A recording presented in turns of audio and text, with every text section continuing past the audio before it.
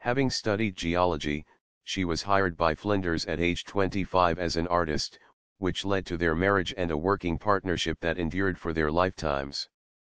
Hilda traveled and worked with Flinders to excavate and record numerous sites in Egypt, and later in Palestine. This included directing some excavations herself, and working in often difficult and dangerous conditions to produce copies of tomb hieroglyphs and plans, and to record the work for reports to the Egypt Exploration Fund.